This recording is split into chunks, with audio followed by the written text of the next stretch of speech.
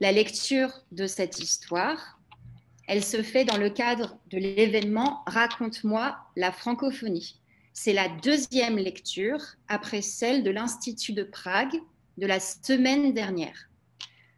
Aujourd'hui, on vous emmène pour un grand voyage.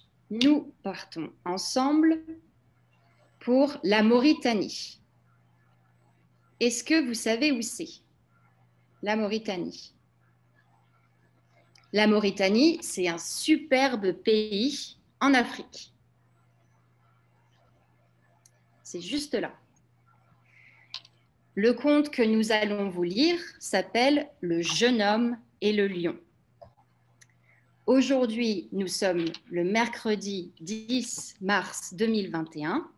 Nous lisons cette histoire en direct depuis l'Alliance française de Pardubice en République tchèque. Et donc, c'est Marie, c'est Marie et Bara. Bonjour. Et moi-même, Claire, qui allons lire Le jeune homme et le lion. Allez, on commence. Il était une fois un jeune citadin qui n'avait jamais quitté sa ville et qui décide un jour de visiter le village de ses ancêtres. Un petit village perdu dans la campagne, situé près d'une grande forêt. Dans cette forêt, il y avait beaucoup d'animaux sauvages et surtout des lions. Le jeune homme, qui n'avait jamais vu de lion, ni à la télévision, ni en photo, il faut dire que ces produits de la modernité n'étaient pas connus ces temps-là chez nous. les gens de ce village n'allaient jamais, jamais dans la forêt à cause des lions. On raconte même quand les lions rugissaient dans la forêt, les portes des maisons claquaient et les canaris et les marmites se renversaient et tous les gens se terraient dans leur maison. un beau matin, donc, le jeune citadin qui s'appelait Demba débarque dans le village de ses ancêtres et fait vite connaissance avec tout, le monde et surtout avec Fatou, une belle jeune fille qui était une de ses cousines lointaines.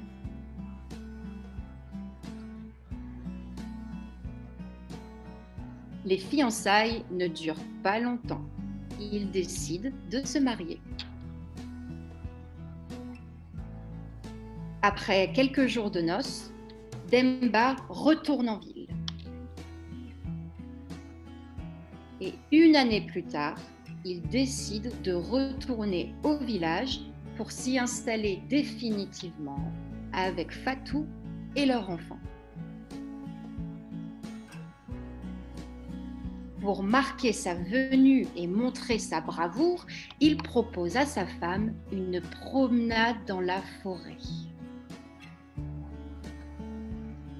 Cette dernière, surprise, lui dit Mais tu es fou Tu veux que la lion nous dévore tous les deux Tu vas voir que moi, je suis un homme.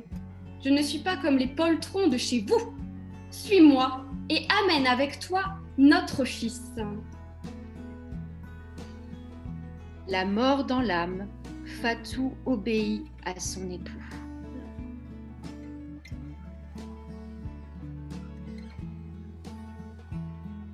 Arrivé à l'orée de la forêt, soudain un chacal sort d'une touffe d'herbe et file devant eux.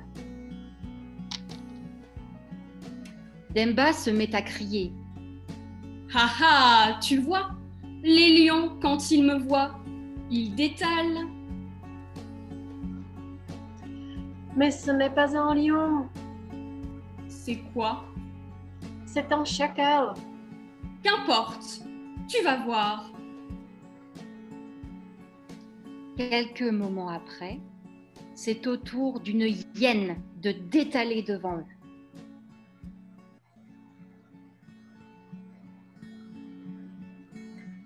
Demba saute et dit Ce n'est pas un chacal, c'est un lion.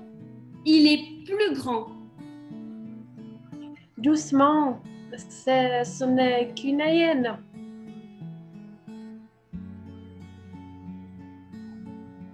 Après avoir longuement marché sans voir de lion, Demba propose à sa femme de se reposer à l'ombre d'un acacia.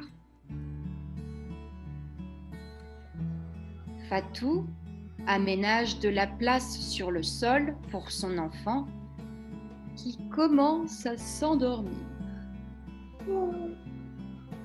Elle se couche derrière l'enfant. Bemba, fatigué, fait de même.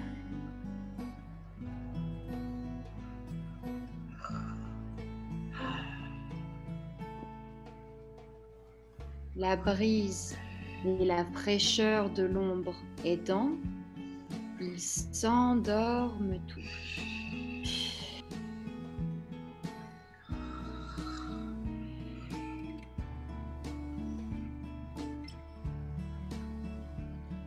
Pendant ce temps, un lion arrive et s'installe sous un arbre à quelques pas d'eux.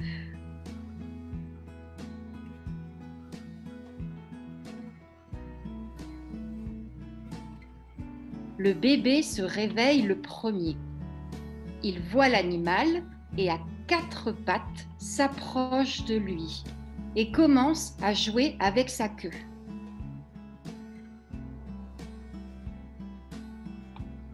Fatou, à son tour, se réveille et aperçoit son enfant en train de jouer avec le lion.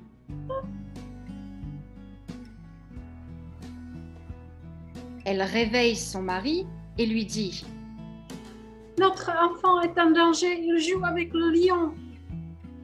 Demba se redresse, fixe l'animal et dit C'est ça, un lion? C'est ça même. Aussitôt, Demba commence à retrousser le bas de son pantalon. Fatou lui demande alors Tu vas sauter sur lui? Demba fait non de la tête et retrousse les manches de sa chemise. Tu vas, fra- tu vas le frapper avec un bâton Il fait non de la tête et dit à Fatou Donne-moi la main. Tu vas fuir? Oui, s'il plaît à Dieu. Et notre fils? On en fera un autre. crie Demba qui a déjà commencé à courir.